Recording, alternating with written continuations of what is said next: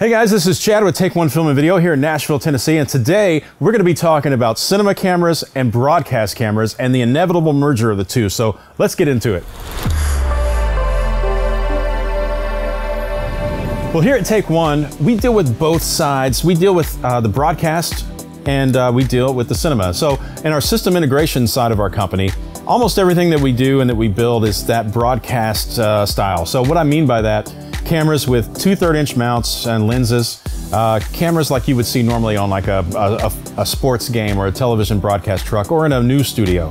Um, those cameras are pretty much uh, very consistent when it comes to the way that they're set up, the way that they're operated, and most of the time, all of those cameras are static. They don't move. And you'll get operators that uh, their function really is just to zoom and focus and to be able to establish a shot from a static position in most cases. Now, the cinema side is totally different. And you typically don't find that freelancers or operators in the cinema world cross over to broadcast and vice versa.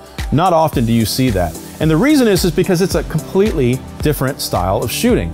Uh, cinema cameras will obviously are going to have larger sensors. They're kind of going to be in that full frame or 35 millimeter uh, that we've been used to all the way back in the film days. And so uh, we're used to bigger lenses, um, a lot of primes, and most of the, the comp composition of the shot really is going to be uh, moving the camera physically, whether it's on a dolly or a Steadicam, and not so much relying on the zoom. And so again, totally different style of shooting. The camera operators are obviously going to be operating the essential parts of the cameras, and you're typically going to have a focus puller who's going to be operating the focus and other people operating um, ACs and, and that are going to be operating different aspects of the camera. So you've got a lot more people involved into doing things that's a lot more scaled down in a broadcast. But what we're starting to see in the market is the bridging of those two worlds because now a lot of the broadcast um, productions, they want to get that cinema look. Because the thing that we love about cinema is that whole natural feel, the, the, the, the, reason that we use those prime lenses and the reason that we shoot with the shallow depths of field is so that we can create a look or a feel or just to basically replicate what our eyes see naturally anyway. And so we want to start bringing that more into the broadcast world that we typically are more used to, to flat or wider depths of field and just has that, uh, you know, I call it the video look. This is nothing really new. Actually, back in 2013, Ikegami and ARRI got together and collaborated on a project where basically ARRI had an Alexa as the head on the front, PL mount using cinema lenses, and Ikegami built a control of the back of the camera that was essentially a broadcast camera control back.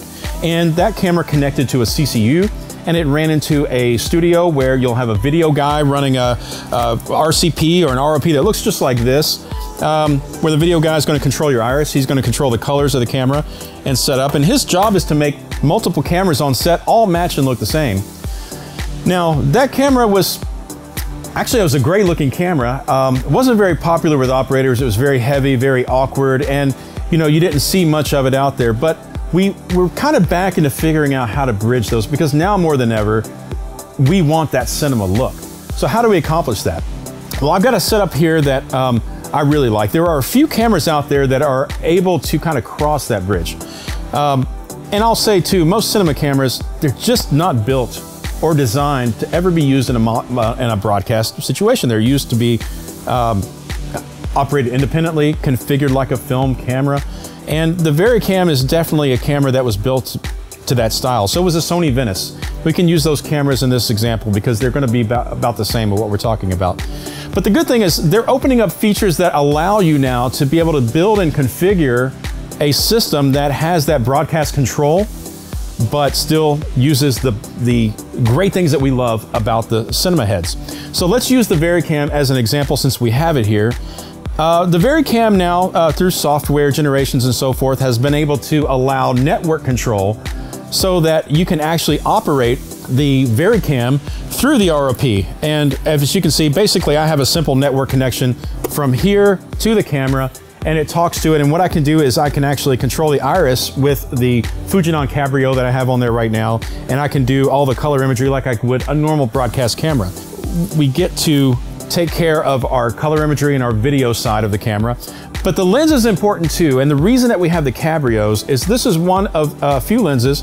Uh, Canon has an option too, but this particular lens, it's great because now we have the option to operate like a broadcast operator would. If you look over here on the side of the lens, you'll see a servo mount with a rocker zoom. And this is typically what you would see on a handheld camera for a broadcast on a 2 3 inch lens.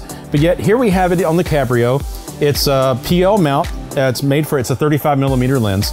And yet that servo box has controls that give you broadcast style zoom and focus operations. So when you have a freelance broadcast guy coming up operating your cinema camera, he's not going to uh, panic when he sees something he's not familiar with. These are going to be very familiar controls. It'll operate the zoom, it'll operate the focus just like he would on a normal broadcast lens. And the great thing about the ROP controlling the camera is that it will also operate your iris. So you can have a video shader position that does his job like he would normally would. He can open and close the iris.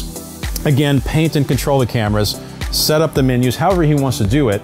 So uh, you basically create a broadcast style operating scenario with a cinema camera. Now, if we want to take this a step further, the things that make broadcast cameras kind of um, all in one uh, is that they have things like tallies, they have intercom, uh, they have return videos and things that the camera operator can use. Now, obviously, we can't do that the way it's configured here with just a single network connection because all we're doing is controlling the lens and the camera.